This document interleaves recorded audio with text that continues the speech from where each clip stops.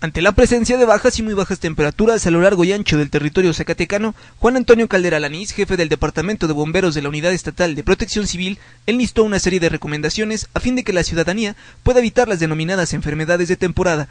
Bueno, seguimos con el plan de contingencias el, eh, de temporada invernal, sobre todo para evitar muertes por temporada.